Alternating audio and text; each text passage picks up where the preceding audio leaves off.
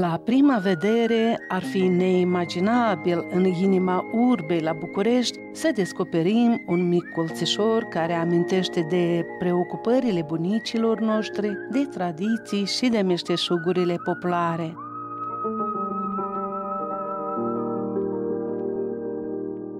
Soții Mariana și Gheorghiță Neacșu sunt unici în acest univers. Ei își exprimă emoțiile prin pânza țesută, ornamente și altițe. Nu am țesut toată viața. nu, nu am țesut toată viața. Îmi pare rău că n-am țesut toată viața. Mi-aș dori să mai pot să țes așa mult timp de acum încolo. Nu știu cât, dar să țes cât mai mult timpul nostru se măsoară în câte altițe țesem într-o zi sau în câți metri de pânză, nu se mai măsoară în ore. Și adică... câte altițe pe zi? Păi, Două. Da, da, da, cam așa. Cam așa depinde de complexitate, de complexitatea modelului, depinde dacă am învățat modelul, dacă e ceva nou, uh, mi-am mult, mai mult timp, pentru că trebuie să să fac foarte multe încercări, foarte multe încercări. Și de fiecare dată, înainte să încep să țeșva, îmi place să studiez uh, zona foarte mult. Altițele astea sunt în uh, cincițe. Adică am patru ițe pentru model, acestea sunt pentru model și ăla este ițul, se numește pânzar.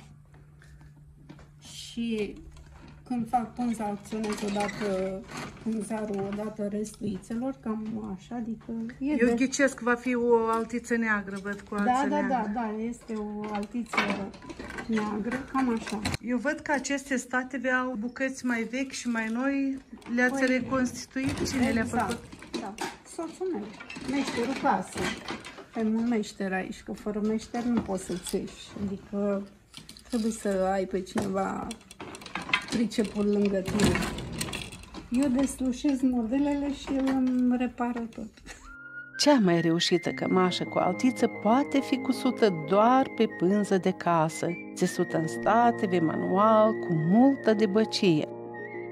Atunci când vezi ceva corect la televizor, imaginea ți se imprimă și uh, nu uiți. Așa când uh, te apuci și studiezi și prin cărți, le mai uiți, le mai încurci, dar foarte bine ar fi dacă la televizor ar fi emisiuni educative. Prin pânza naturală de bumbac, de yin sau cu borangic, Mariana și Gheorghiță Neacșu au devenit populare în toate șezătorile din spațiul românesc, inclusiv în cele de peste Prut. Ați Mai promovat sunt. împreună cu noi arta cămășii cu altiță. Proiectul meu de suflet cu fetele de la Chișinău este reproducerea cămășii Elenei Alistar. Deci eu am țesut altițele. Dacă România nu se unește cu Moldova, noi ne-am unit prin cămașa asta. Pentru mine asta a reprezentat o unire între noi și Moldova. Pânza și altițele sunt țesute de Mariana Neacșu de la București. Eu mi-am luat misiunea ca să completez cu fir de aur, fir de argint și culorile. Uh, noi am gândit împreună acest, uh, această idee. Sigur că țesătoarea a știut mai bine cum să aranjează motivele și am mers pe unda apei uh, cu cruci mici colorate.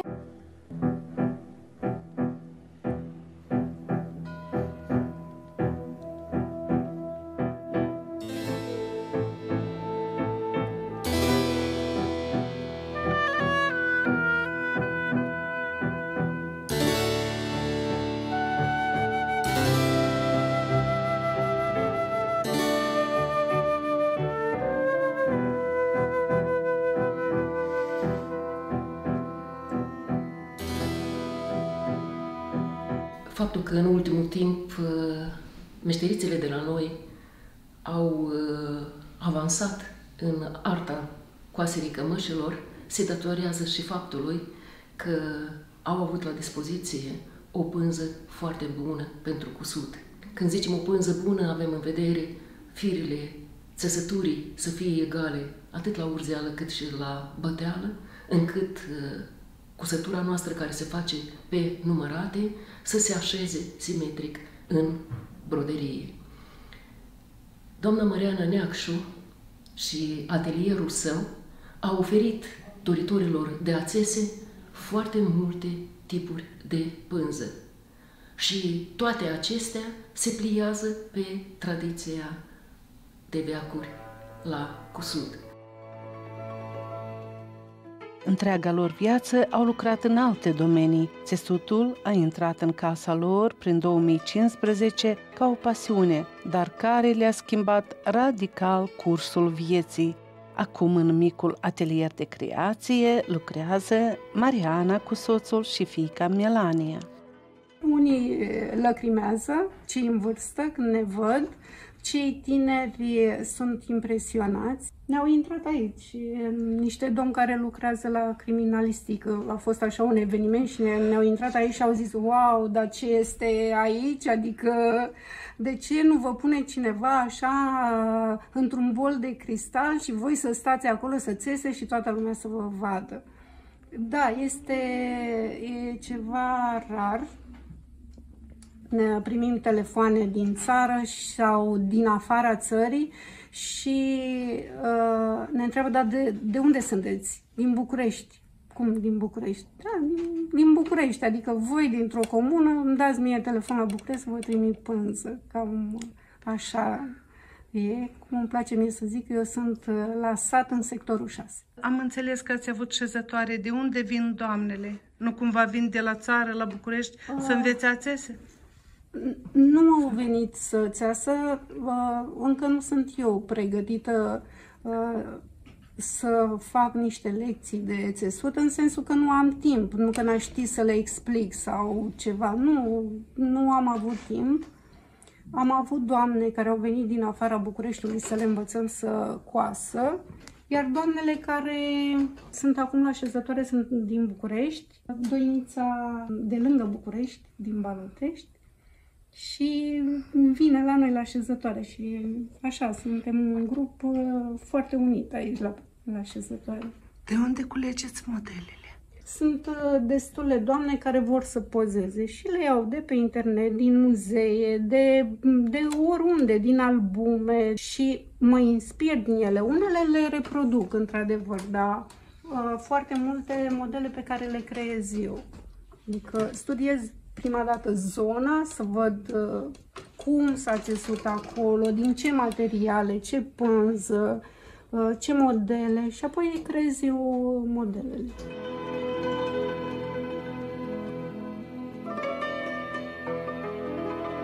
Seva tradițiilor românești curge din palmele strămoșilor noștri, de la ei am învățat cu toții ce înseamnă iubirea pentru meșteșugul tradițional și sfințenia hărniciei. Rădăcinile Marianei Neacșu se trag din comuna Ogrezeni, județul Giurgiu, unde bunicile ei și mama Vasilica Nache au țesut mai toată viața. Mama mea nu m-a văzut țesând. Uh, primul război pe care l-am avut uh, și am început noi să țesem a fost al ei, a stat în ultimii ani la mine și mereu zicea, mai mă duc și eu la țară să țes. Și eu ziceam, dar ce trebuie, dar ce mai faci, la, lasă-l de război. Și nici măcar n-am, n-am știut nici cum se urzește, nici cum se năvădește, nu am știut nimic. Ea, în ultimul timp, așa o țin eu minte, când țesea preșuri, aveam multe resturi de lână și zicea, mai fac și eu niște velințe.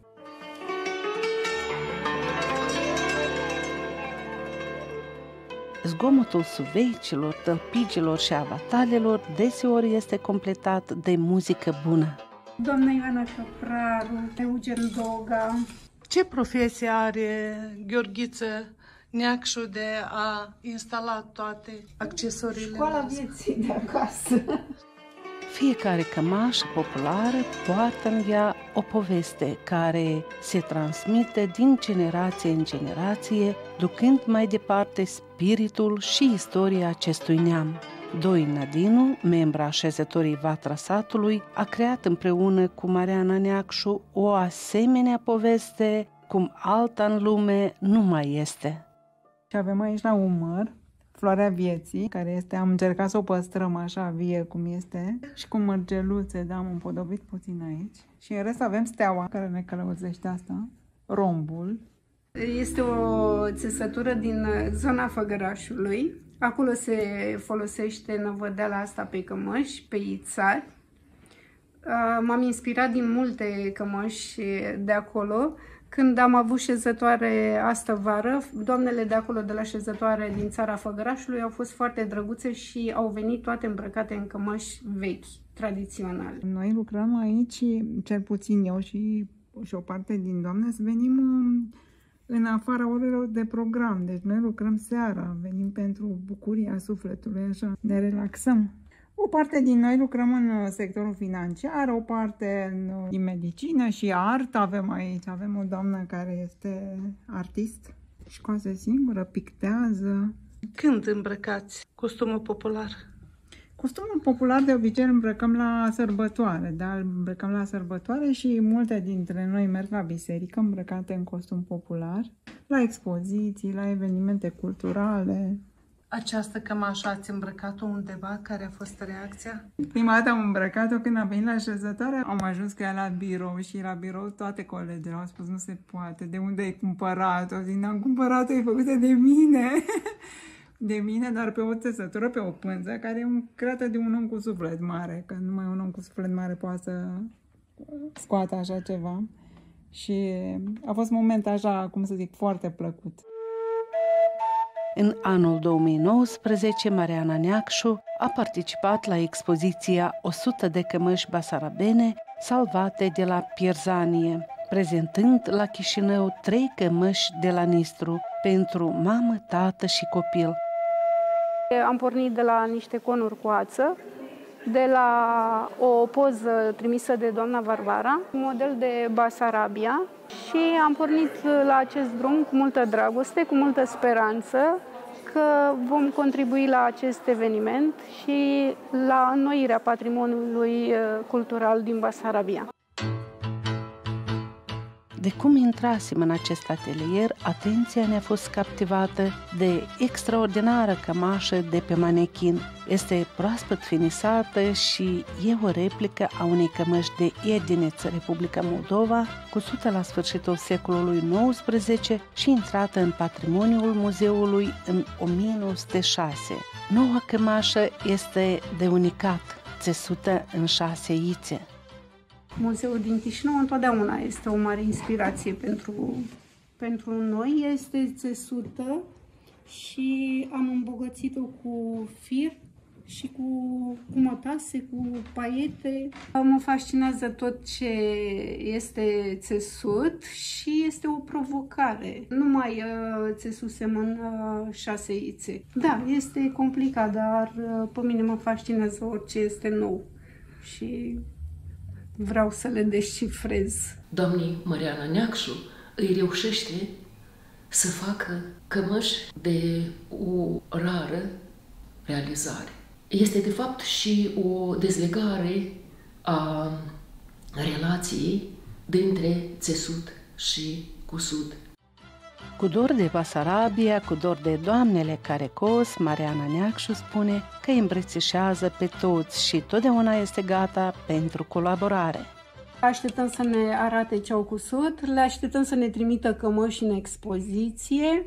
Îmi doresc să mai facem așa o cămașă în comun, cum am făcut cămașa, cum am reprodus cămașa Elenei Alistar, să mai găsim un model tot așa de, de luat în seamă.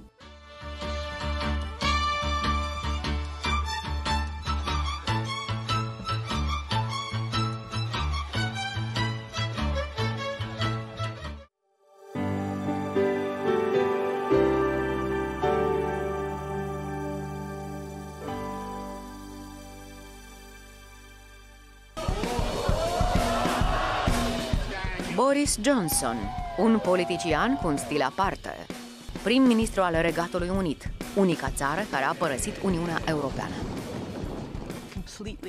El este complet diferit de toți prim-ministrii din epoca noastră. Se deosebea mereu de establishmentul englezesc tradițional. Interesul lui e puterea, nu politica. A executat și a dus la bun sfârșit Brexitul. Să ne unim și să reechilibrăm țara. Auzi cineva ce am spus? După ieșirea din Uniunea Europeană, el promovează visuri de măreție britanică, de renaștere a unui regat unit în raport cu restul lumii.